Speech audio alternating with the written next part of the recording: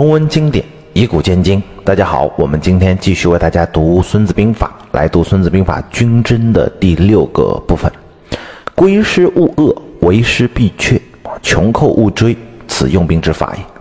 秦军主帅白起啊，归师勿遏，为师必却；穷寇勿追，敌人退回本国，不要拦截；包围敌人要留一个缺口，敌人到了呢，绝境可能会拼命，这个时候不要破境。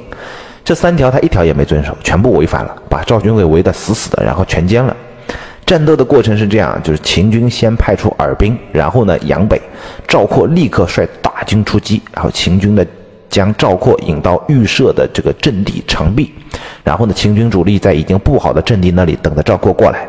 这就是《孙子兵法》所说的“凡先处战地而待敌者易，后处战地而易啊驱战者劳，故善战者治人而不治于人”的意思。又是叫知战之地，知战之日，使敌自知者利之也啊！秦军知道在长壁决战，先布好口袋，然后引赵括来。赵括不知道呀，以和以正和，以击胜。秦军先以耳兵为阵，啊，长壁主力为基。等到赵括到了长壁之后呢，耳兵和主兵合为一处为阵啊，该出第二支机兵了。赵赵括被阻在长壁作战不利，准备退军。这个时候，秦军御伏在两翼的两万五千机兵出击啊，穿插到赵军的身后，占了西壁垒这个高地有利地形，挡住了赵括的退路，并且切断了赵括和大本营之间的联系。赵军被一分为二。这个时候呢，白起再派出五千精骑，就很厉害的骑兵啊，插到。留守大本营的赵军啊，这个营垒之间牵制赵军的行动，切断所有的粮道，让赵军动弹不得。这个时候，赵括被困，只好自己去叫驻壁坚守待援啊。白起一刻都不让他休息，轮番派出精那个轻骑来去攻击他，骚扰他。这叫敌意能劳之，保能击之。秦昭王接白啊白起啊，说白起得手了，于于是即刻出发，亲自到前线河内，发动当地十五岁以上的男子全部参军，投入长平战场，彻底包围，断绝赵军的粮道和外援。这个时候，赵括断粮四十六天，赵军达到了互相残杀、吃人的地步，只能孤注一掷突围，结果赵括阵亡啊，赵军投降，四十万人被活埋了。有一个问题啊。赵括熟读兵书，为什么会犯这么简单的错误呢？就是因为他自信。初生牛犊不怕虎啊，但是牛犊还是要被虎吃掉的。你怕不怕是一回事，被不被吃是另外一回事。在赵括心中，廉颇老矣啊！赵国现在的将星就是我！赵国廉颇在长平跟秦军耗了三年，国家都被他耗垮了，还得要靠我解决问题。自信必然会轻敌，一接战果然得胜，证明自己是对的，是强的，马上追击。你说是扬北勿从，他认为是机器多归，你是乘胜追击，他一追出去就不可挽回了。第二个就是为什么赵括他爹赵奢跟儿子一谈兵难不倒他，说不过他，却知道他不行呢？赵奢对赵括他妈说：“兵死地也，而括亦言之，使赵不将啊，括既急，若必将之，破赵军者，必括也。”军事啊是生死存亡的大事，而赵括说的很轻松，没有他不知道的。如果赵括不用啊，赵国啊不用赵括为将，那也就算了；如果用他为将，赵军肯定死定了。有人说赵括熟读兵书，但是不能活用，这不是本质啊，本质是熟读兵书不等于懂了兵法。俗话说没吃过猪肉，你还没见过猪跑吗？其实大错特错，你见过猪跑不等于知道猪是怎么回事儿，一定要吃过猪肉才知道猪是怎么回事儿。更何况赵括看的是猪跑，是在书上跑，地里的猪他没见过呢。所以我们读书每读到一条，是知道有这么一条，不是真的会了这一条，一定要自己实践、练习过了才算是真的知道。知道的程度还不一定，永无止境嘛。学啊，孔子说：“学而时习之，不亦乐乎？”啊，学到的时候其实不知道，一定是练习过了、实践过了、体会到了才会真的知道，才不亦乐乎。上课难道你没有体会吗？老师一讲你就听懂了，对不对？你做习题你又不会了，所以之前不是真懂，把题目做会了，那才叫学到一点点。赵括他的妈妈其实也知道赵括是没有将帅将的才能的。一是赵奢身边啊生前跟他交代过，第二呢，他劝阻赵王不要认赵括为将的时候说，以前您认他父亲为将，赵奢从得令之日起不问家事，所得金帛全部分给将士。今天您以赵括为将，给他的赏赐他全部交给家里收起来，叫家里看看哪里好，哪里有什么地，哪里有好的房子，赶紧买，这就不是一个当将领的样子。第三个问题，赵王为什么不听呢？他为什么一定要换到廉颇而又用赵括呢？他是中了秦国的离间计吗？秦国间谍啊，散布谣言。说廉颇不战是要投降秦国，秦军不怕廉颇，就怕赵括，这就他上钩啦。其实并不是，赵赵王的决策失误是因为焦虑，是因为压力，是因为他太郁闷了，是因为压力太大了，他必须要做出改变，就是死太想搏一把。为什么呢？那我们就要看看这场仗是怎么打的了。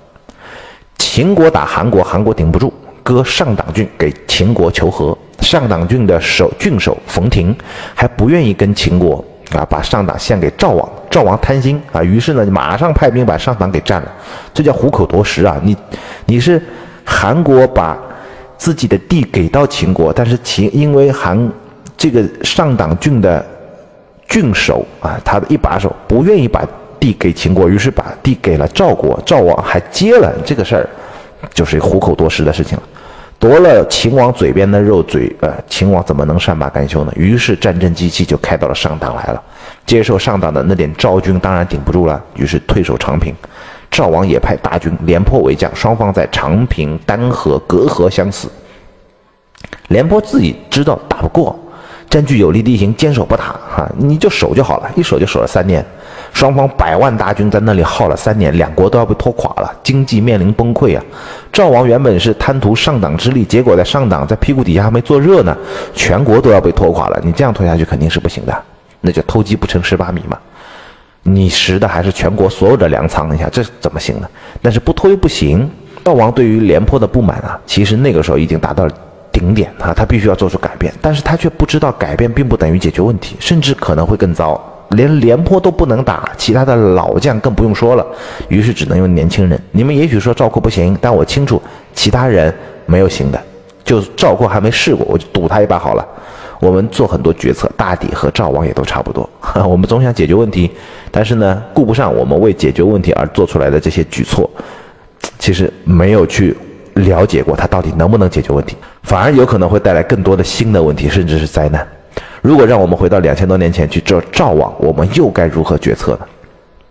其实我们做的可能跟赵王差不多。故用兵之法：高陵勿向啊，背丘勿驰，阳北勿从，锐卒勿攻，耳兵勿食，归师勿遏，为师必却，穷寇破追，此用兵之法也。将锐卒勿攻，锐卒勿攻的锐和前面朝气锐啊，昼气堕，暮气归的锐是一个意思啊。避其锐气，击其惰归。敌人正在锐气正盛的时候，就避他一避，熬他一熬。等他兴奋劲过了，饿了、渴了、累了、倦了、疲了，我们再打。这是志气，这是唐太宗李世民的强项。前面学过他打窦建德的那个战例啊，就是锐卒无功，击其惰归嘛。我们今天再看两个，一个呢，他先打刘武周，也是怎么也是这么打的。刘武周原来是隋朝的将领啊，隋末天下大乱。于是呢，就起兵造反，自称皇帝，又得了突厥的外援，哈，一路势如破竹。于是呢，就和唐军作战，啊，连胜好几场。李元吉被他打了个落花流水，然后弃了太原逃走了。李渊集团的老巢啊，都被他占了。他们本来就是发家于太原嘛。于是黄河以东尽归刘武周。李渊被他打怕了，说贼势如此，难与争锋，哈。于于是呢，就把黄河以东给全部啊舍弃，然后守关西而已。李世民说：“太原王业所基，国之根本啊，河东赋实，精益所资。如果呢，我们把它放弃了之后呢，臣妾愤恨啊！我私底下还是非常，呃，憎恨或非常愤怒的。于是呢，他主动请缨，亲率三万精兵平刘武周，以复克太原。于是就有了百壁之战。李世民率这个率军啊，乘坚兵啊，渡过黄河。”和刘武周部将宋金刚在摆壁对阵，李世民和李道宗登高观察，问李道宗说：“敌人兵多，来邀我战，我你看怎么办？”李道宗回答说：“叫群贼啊，风不可挡，意以计趋，难以力争。”李世民说：“咱们想到一块去了。这金刚啊，玄军深入，精兵猛将，咸于咸聚于市啊。武周据太原，以金刚为牵臂，军无。蓄积以掳掠为资，利在速战。我必营养锐以挫其锋锐，分兵冲其心腹，彼粮尽计穷，自当遁走。当代子计，未宜速战。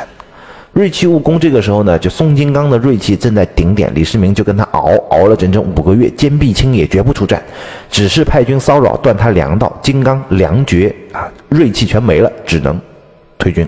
他一退，李世民就记起多归啊，猛追，一追追两百里，打了八仗啊。唐军三天没卸甲，两天没吃饭，将领们都说差不多不能再追了，让大家休息休息吧，等兵粮齐备再打不迟。李世民就说：“我早就想透了，接着追啊，继续打。”于是这一战彻底打垮，把宋金刚主力一举歼灭。刘武周一看大势已去，于是又弃了太原城，逃到了突厥啊。不久就被突突厥给杀了，刘武周的政权就这么灭亡了。第二个战例呢，是李世民征薛仁杲，还是一样，薛仁杲有十万兵马。啊，锋兵锋正锐，这个时候李世民还是那一招，叫锐卒务工。诸将请战，李世民下令就说：“敢言战者斩！”哈，相持六十多天。这个时候呢，薛仁杲呢把粮食吃完了，没了粮食，部下开始有些人来投降，因为这个到了点就开饭啊，那边没有饭嘛。李世民一看敌军锐气已失，离心离德，于是就说可以打了，于是就派出耳兵。把敌人有还有斗志的那些人给诱出来，然后呢，把他剩下来的锐气给泄一泄，最后一举击灭啊，把薛仁杲也给灭了。这就是李世民能打仗啊！李世民能打仗，主要是因为他知道什么时候不打。李世民最猛，是因为他知道对方在猛的时候，我就躲起来，等对方没有力气，我就猛了呀。而且他都不打第二仗，一次就收拾干净，都给他算绝了。这就是李世民厉害之处，这是我们今天的内容，我们下期再见。